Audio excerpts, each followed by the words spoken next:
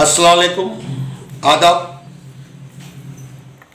मेरा नाम Ayub Khan, Aam Aadmi Party, auto win state president.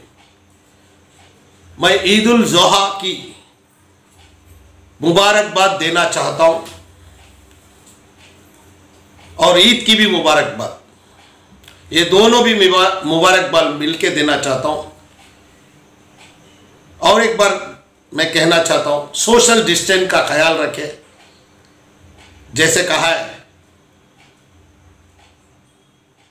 अस्सलाम वालेकुम।